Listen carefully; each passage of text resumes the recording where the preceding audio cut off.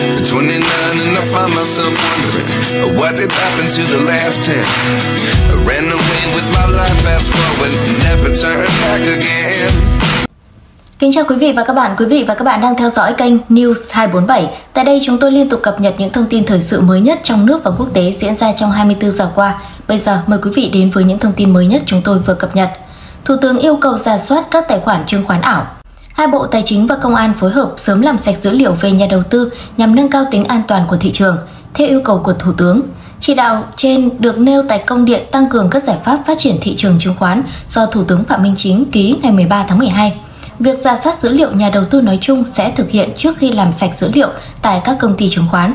Trước đó, người đứng đầu chính phủ đã yêu cầu Ủy ban Chứng khoán Nhà nước, đơn vị thuộc quản lý của Bộ Tài chính kết nối cơ sở dữ liệu quốc gia về dân cư để làm sạch dữ liệu người tham gia giao dịch chứng khoán ngay trong tháng 11. Thực tế, sau chuỗi tăng hàng trăm nghìn tài khoản mới mỗi tháng, lần đầu tiên thị trường chứng kiến việc giảm dòng số tài khoản lên tới hơn 377.000 trong tháng 10, theo số liệu từ Tổng Công ty Lưu ký và Bù trừ Chứng khoán Việt Nam VSDC. Cụ thể trong tháng 10 chỉ có 167.659 tài khoản được mở mới, nhưng số tài khoản đóng lên tới 545.386, trong đó 99% tài khoản đóng là tại công ty chứng khoán MBS. Ngoài ra thì chưa có thêm công ty chứng khoán nào chủ động công bố về kết quả giả soát. Hiện số lượng tài khoản ngày 31 tháng 10 là hơn 7 triệu tại 76 công ty chứng khoán.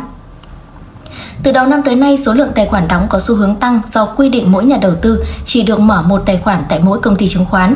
Việc mở tài khoản dễ dàng không kiểm soát dẫn đến các đối tượng lợi dụng thuê nhờ người khác đứng tên để mua bán tạo cung cầu giả, đẩy giá lên cao, bán ra thu lợi bất chính. Điển hình như vụ án của ông Trịnh Văn Quyết và đồng phạm tại nhóm cổ phiếu họ FLC hay Đỗ Thành Nhân và chứng khoán Chí Việt tại nhóm cổ phiếu họ Louis Nguyễn Đỗ Lăng và đồng phạm tại nhóm cổ phiếu họ Apex. Tại công điện lần này, Thủ tướng đánh giá thời gian tới thị trường tài chính tiền tệ quốc tế có nhiều biến động phức tạp, khó dự báo, ảnh hưởng đến thị trường vốn, tiền tệ, thị trường chứng khoán.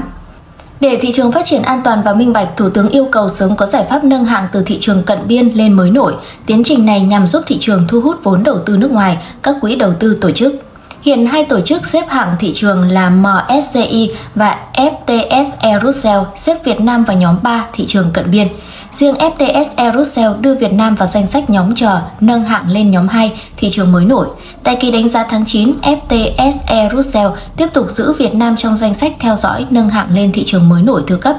Ngoài ra, Bộ Tài chính phải giám sát chặt diễn biến trong nước và quốc tế, các dòng vốn ra vào thị trường không để xảy ra rủi ro mất an toàn.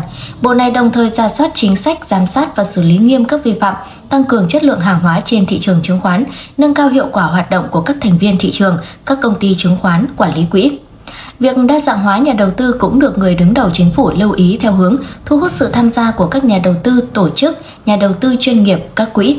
Với các nhà đầu tư cá nhân, ông yêu cầu cơ quan quản lý phải chủ động cung cấp thông tin, đào tạo kiến thức tài chính chứng khoán. Bộ Công an được giao phối hợp với Bộ Tài chính, Ủy ban Chứng khoán Nhà nước có giải pháp ngăn chặn, phòng ngừa và xử lý nghiêm các hành vi tấn công mạng, xâm nhập, lừa đảo, chiếm đoạt tiền của nhà đầu tư trong giao dịch chứng khoán trên không gian mạng. Quý vị và các bạn thân mến, những thông tin này đã khép lại bản tin thời sự ngày hôm nay của chúng tôi. Để không bỏ lỡ những thông tin mới nhất liên tục được chúng tôi cập nhật về tình hình trong nước cũng như quốc tế, quý vị đừng quên like, share và subscribe kênh News 247. Còn bây giờ, xin kính chào tạm biệt và hẹn gặp lại quý vị và các bạn trong những bản tin tiếp theo.